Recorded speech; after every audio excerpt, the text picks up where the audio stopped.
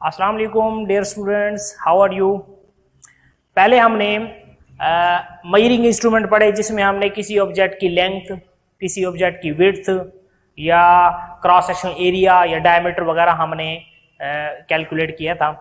तो आज हम क्या करेंगे स्क्रू गेज के ज़रिए क्या करेंगे मीन पहले हमने मीटर रूल के बारे में पढ़ा है, वर्नियर कैलिबर के बारे में पढ़ा है, उनके लीज काउंट वगैरह देखे थे। आज हम देखेंगे स्क्रू गेज के बारे में कि स्क्रू गेज हमारे पास क्या है। मीटर रूल मयरिंग टेप आ, उसके बाद हमारे पास स्क्रू वर्नियर कैलिपर। आज हमारा जो टॉपिक है वो हमारा है स्क्रू गेज। तो स्क्रू गेज जो है हमारे पास ये वर्नियर कैलिपर से मोर एक्यूरेट है। वर्नियर कैलिपर से भी मोर एक्यूरेट है। स्क्रू गेज है क्या? Screw gauge is an instrument that is used to measure small length with greater accuracy. Greater accuracy के साथ स्मॉल लेंथ किसी भी चीज़ की मालूम करने के लिए with greater accuracy than a vernier calliper vernier calliper से ज़्यादा एक्यूरेसी के साथ किसी भी चीज़ की स्मॉल लेंथ को मेजर करने के लिए ये इस्तेमाल किया जाता है। It is also called micrometer screw gauge इसको माइक्रोमीटर स्क्रू गेज भी कहते हैं। माइक्रोमीन स्मॉलेस्ट सब्सटेंस की लेंथ को मालूम करने के लिए इसको हम क्या करेंगे? यूटिलाइज करेंगे। यहाँ सामने हमारे पास एक सिंपल इसकी डायग्राम बनी हुई है। ये हमारे पास यू शेप्ड मेटल फ्रेम है। क्या हमारे पास? इसकी जो मेटल फ्रेम होगी वो क्या होगी? यू शेप्ड मीन अगर इसकी कंस्ट्रक्शन में अगर हम जाएँ तो यू शेप्ड क्या है हमारे पास? मेटल फ्रेम है। ये यू शेप्ड मेटल फ्रेम और उसके अंदर जो हमारे पास ये एक मेटल का बना हुआ होगा, इसे हम कहते हैं स्टड क्या बोलते हैं? स्टड और ये हमारे पास है, हमारे पास स्पिंडल जो कि क्या करता है? मूव करता है. फॉरवर्ड एंड बैकवर्ड डायरेक्शन में ये क्या करता है? मूव करता है. स्टड हमारे पास क्या होता है? फिक्स होता है. जो स्पिंडल है, ये क्या करता है? मूव करता है. फॉरवर्ड एंड बैकवर्ड डायरेक्शन में. कब? जब हम क्या करेंगे? ये हमारे पास रेचिड है. इसको क्लॉकवाइज या एंटी क्लॉकवाइज हम क्या करते हैं? रोटेट करते हैं। क्लॉकवाइज या एंटी क्लॉकवाइज इसको रोटेट करने से जो स्पिंडल है ये फॉरवर्ड और बैकवर्ड डायरेक्शन में क्या करेगा? मूव करेगा। अगर हमारे पास ये सब्सटेंस है इसको मालूम करने के लिए इसमें हम क्या करेंगे? इसको फिक्स करेंगे। फिक्स करने के बाद हाँ, फिक्स कब होगा? जब ये स्पिंडल क्या करेगा? मूव करेगा। अब उसके बाद ये हमारे पास क्या है? लॉक है। मीन किसी चीज़ की लेंथ को मालूम करने के लिए हम उसको उसके अंदर फिक्स करने के बाद लॉक लगा देंगे। अब लॉक से ये होता है कि वो चीज़ गिरती नहीं है। सही तरीके से हम उसकी क्या कर सकते हैं? मेज़रमेंट कर सकते हैं। और ये हमारे पास होगा मेन स्केल रीडिंग इसको इंडेक्स लाइन बोलते हैं, ठीक है? इसके ऊपर नंबरिंग होती है zero one two three four five इस तरह से, ठीक है? और ये हमारे पास जो है, ये सर्कुलर स्केल है। वर्नियर कैलिपर में था हमारे पास मूवेबल जा ठीक है? यहाँ हमारे पास क्या है? सर्कुलर स्केल है, जिसके ऊपर रीडिंग होती है ज़ीरो से लेकर हंड्रेड तक। और इसको हम क्या कहते हैं? हालो सिलेंडर होता है, जिसके अंदर ये क्या होती है? इंडेक्स लाइन होती है।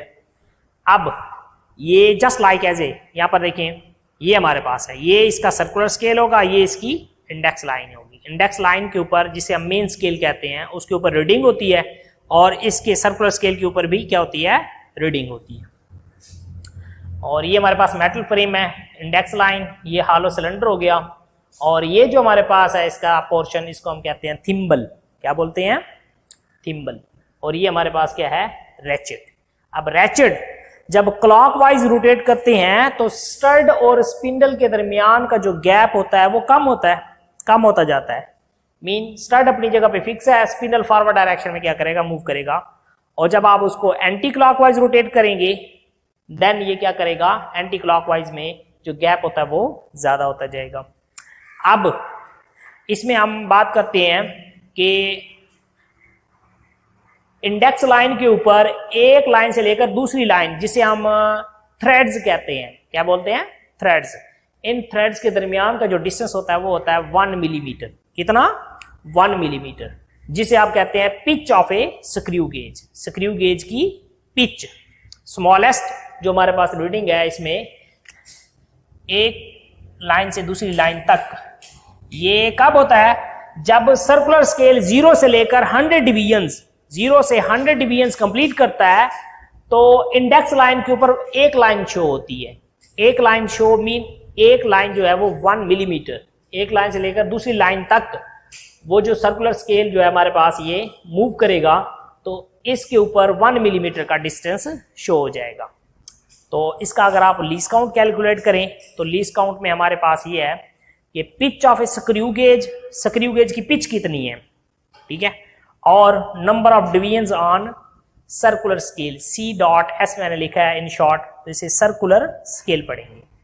तो pitch of screw gauge number of division on circular scale तो पिच अभी हमने डिस्कस किया कि वन मिलीमीटर का होगा हमारे पास, और number of circular scale division जो है हमारे पास वो कितने हैं? हंड्रेड तो one millimetre divided by hundred ये हो जाएगा zero point zero one millimetre.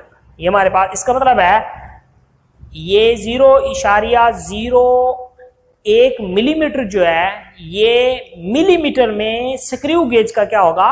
Lease count होगा। Smallest reading that can be taken by using a screw gauge is zero इशारिया zero एक मिलीमीटर इसको सेंटीमीटर में लिखेंगे तो एक पॉइंट फॉरवर्ड डायरेक्शन में आ जाएगा हमारे पास। ज़ीरो इशारिया ज़ीरो ज़ीरो एक सेंटीमीटर मीन कैसे? जैसे ज़ीरो इशारिया ज़ीरो एक मिलीमीटर है। मिली हमें पता है। ज़ीरो इशारिया ज़ीरो एक milli ten to raise power minus three metre होता है।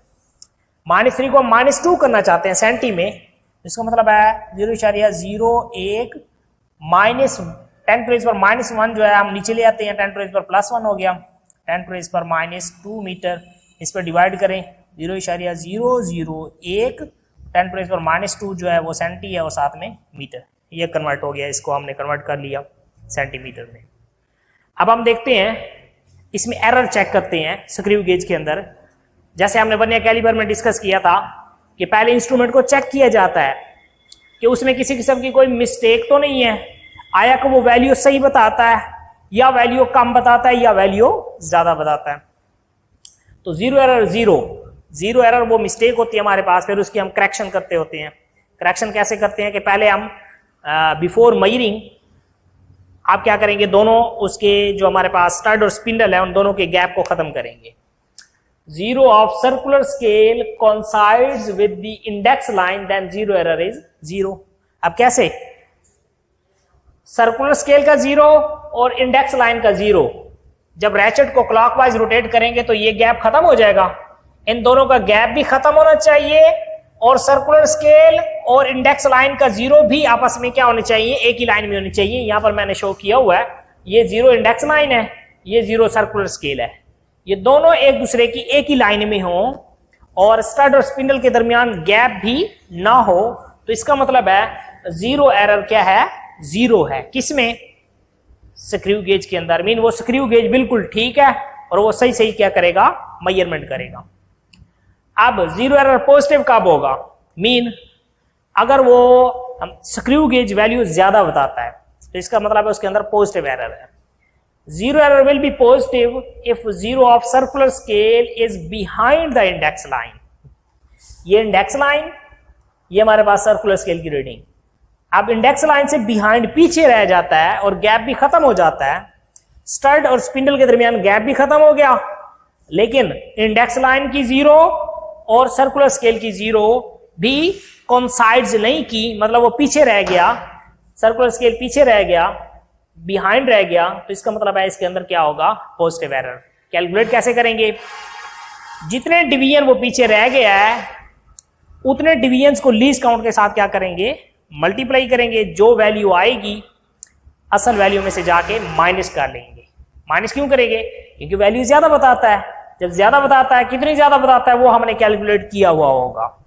लास्ट वाली रीडिंग में से जाके उसको सब कर लेंगे। ज़ीरो एरर नेगेटिव कब होगा? Zero error will be negative if zero of circular scale has cross to the index line इसमें बिहाइंड था पॉजिटिव में। नेगेटिव में क्या होगा? क्रॉस कर जाएगा ज़ीरो से। तो यहाँ पर देखिए, ये इंडेक्स लाइन की ज़ीरो है, ये सर्कुलर स्केल की ज़ीरो सर्कुलर स्केल की ज़ीरो क्रॉस कर गई है इंडेक्स लाइन को। तो इसमें एरर क्या होगा? नेगेटिव नेगेटिव का मतलब है वो वैल्यू कम बताएगा। अब कैलकुलेट इसको कैसे करेंगे? जितने डिवीज़न इंडेक्स लाइन से वो क्रॉस कर गया है, उतने डिविजन्स को स्क्रू गेज के लीस्ट काउंट के साथ मल्टीप्लाई करके जो एक्चुअल वैल्यू आएगी हमारे पास उसमें हम उसको ऐड कर देंगे। नेगेटिव वैल्यू हमेशा ऐड की जाती है और जो पॉजिटिव वैल्यू होती है, उसको असल वैल्यू में से इसको क्या करते हैं? सब्ट्रैक्ट करते हैं। मीन ये करेक्शन होती है। क्या होती है? करेक्शन होती है। इनशाला नेक्स्ट लेक्चर में हम नेक्स्ट टॉपिक डिस्कस करेंगे। अल्लाह हाफिज़।